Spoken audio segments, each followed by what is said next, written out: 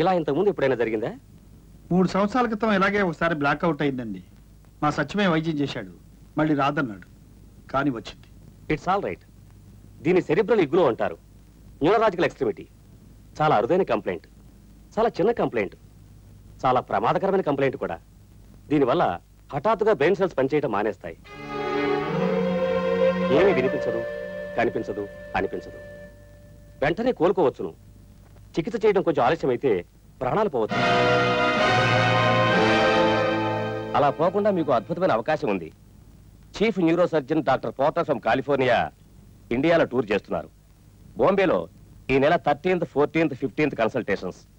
అవసరమైతే ఆపరేషన్ కూడా చేస్తారు. వంశీ ఇప్పుడు నార్మల్ గానే ఉన్నాడు. నేను లెటర్ రాసిస్తాను. రిపోర్ట్స్ కూడా మీతో తీసుకెళ్ళండి. వీలైతే డాక్టర్ సత్యంగాని కూడా మీతో బొంబాయి తీసుకెళ్ళండి. అలాగే doctor. Thank you it's all right. విషయం ఏమిటో వివరంగా చెప్పరు. హఠాత్తుగా బొంబాయి వెళ్తానంటారేమిటండి చెప్పాగా మాధవి చిన్న ఆపరేషన్. మొగ్గలోనే తుంచేయడం మంచిదన్నాడు డాక్టర్.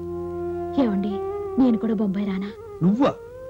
అసలు నేను వెళ్ళడమే అనవసరం అనుకుంటుంటే నువ్వొకటివా అయినా నీ పూజలకి పునస్కారాలకి బొంబాయిలో వీలుండదు.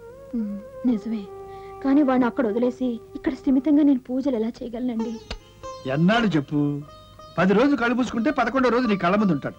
అంటే ఈ రోజు తారీఖు తొమ్మిది. ఇరవై తారీఖు వంశీ పుట్టినరోజు. అవును పుట్టినరోజుకి ఇక్కడే ఉంటాడు. తాతయ్య బయలుదేరదామా? నానమ్మ వెళ్ళొస్తాను. ఒరే నాన్న సరిగ్గా నీ పుట్టినరోజుకి నువ్వు ఇక్కడ ఉండాలి. ఉంటానని మాటి? అలాగే నానమ్మా. నువ్వు వచ్చే వరకు నా కళ్ళని నీ కోసం ఎదురు చూస్తూ ఉంటాయి. గుర్తుంచుకో. ఒరే ఆపరేషన్ చేసేటప్పుడు కళ్ళు మూసుకో.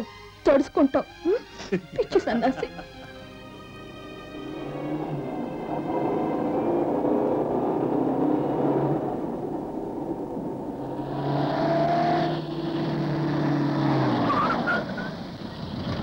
ఏమిటి ఏమిటి? గింజుకుంటుంది.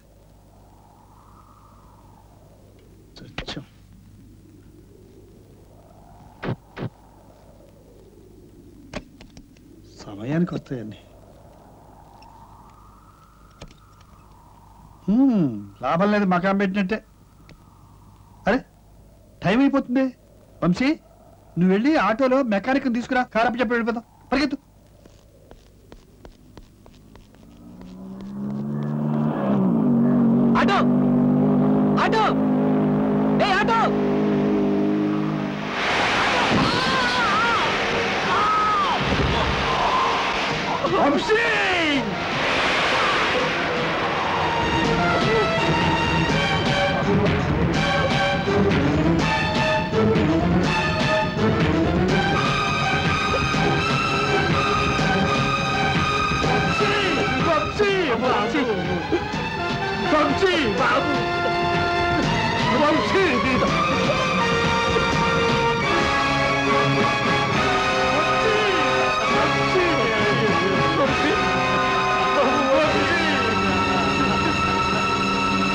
ॐ तद्ब्रह्मा ॐ तद्वायुः ॐ तदात्मा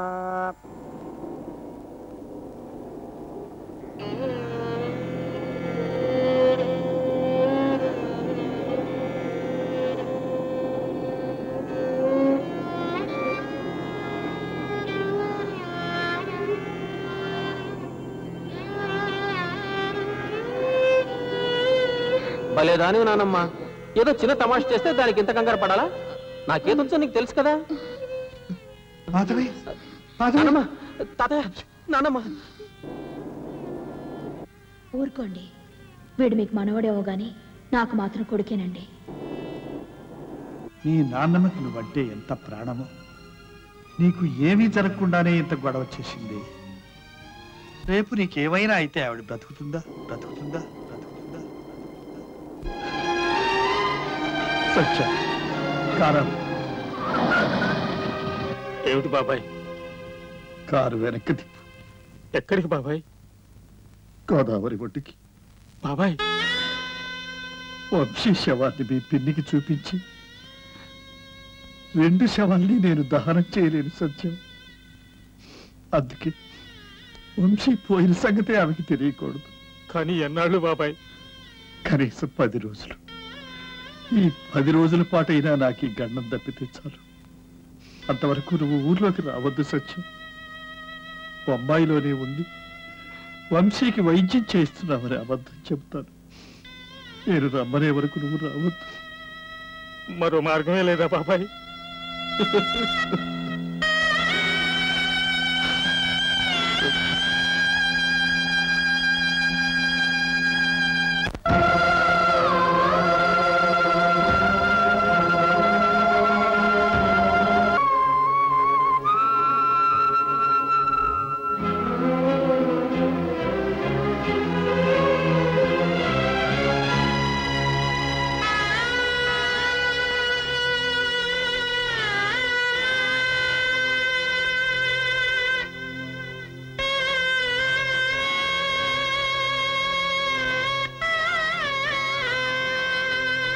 బాబాయ్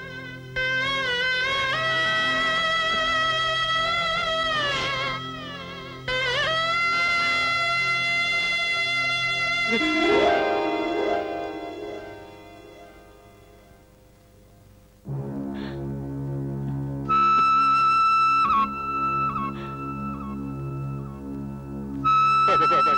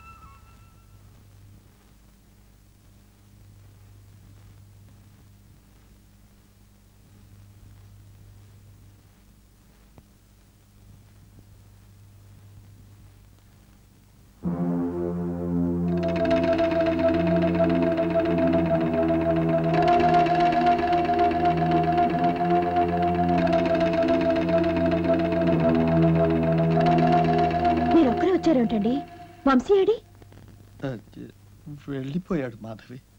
ఎక్కడికి? వంశీతో మీరు బొంబాయి వెళ్ళలేదా? వెళ్ళాను. మన వంశీ చేరవలసిన చోటికే చేరిపోయాడు.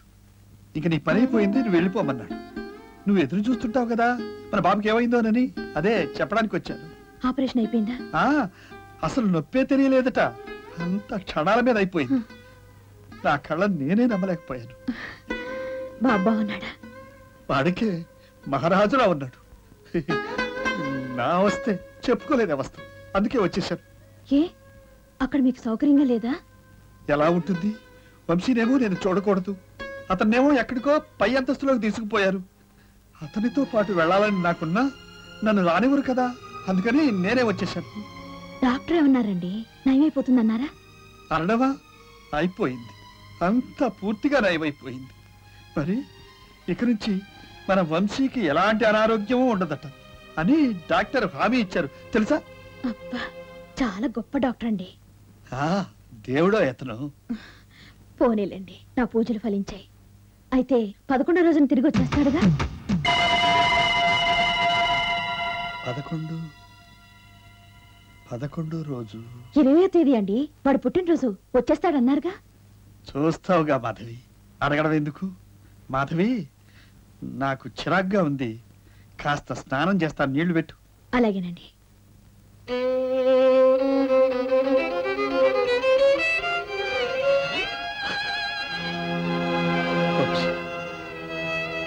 వంశీ.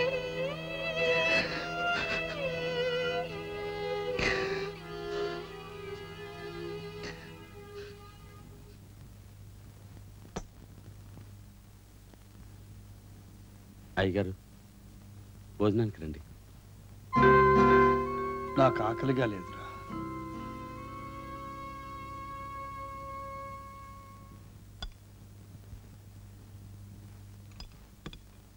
నువ్వు కూర్చో మాధవి. ఈ వ్రతం చేసే పది రోజులు ఒక్క పూట తింటున్నానండి. మీరు తింటూ ఉండండి. ప్రసాదం కోసం పాయసం చేశాను. తెస్తాను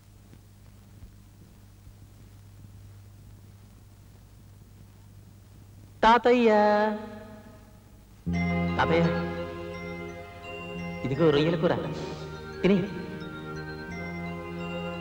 ఆ, నానమ్మ లేదుగా? అప్పుడే రాదు. ఇదిగో తిను.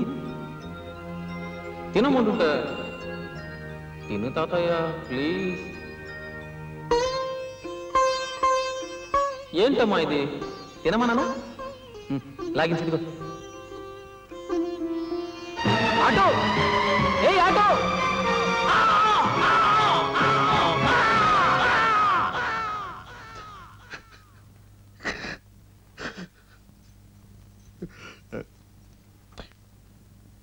ఏంటండి అలా ఉండిపోయారు? అదే అది నాకు ఆకలిగా లేదు మాధవి.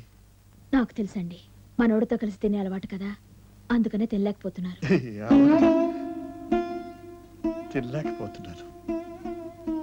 తినలేకపోతున్నాను ఓం కేశవాయ నమ ఓం నారాయణాయ నమ ఓం మాధవాయ నమ.